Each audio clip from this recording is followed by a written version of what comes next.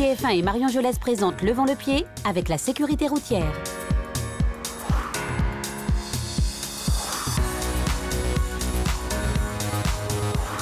Bon, Romain, la vitesse, c'est ton métier, sur les circuits en tout cas. Oui, comparé à des routes comme celle-ci, c'est le jour et la nuit. En F1, rouler moins vite peut te faire perdre de précieuses secondes. Alors que dans la vraie vie, On n'est pas à quelques secondes près. Rouler moins vite, ça ne change quasiment rien. c'est-à-dire Sur un trajet de 11 km, rouler à 80 km/h au lieu de 90, ce ne sera que 50 secondes en plus. Sur 25 km, le trajet te prendra 2 minutes de plus. Et sur 40 km, 3 minutes et 20 secondes. Franchement, c'est rien.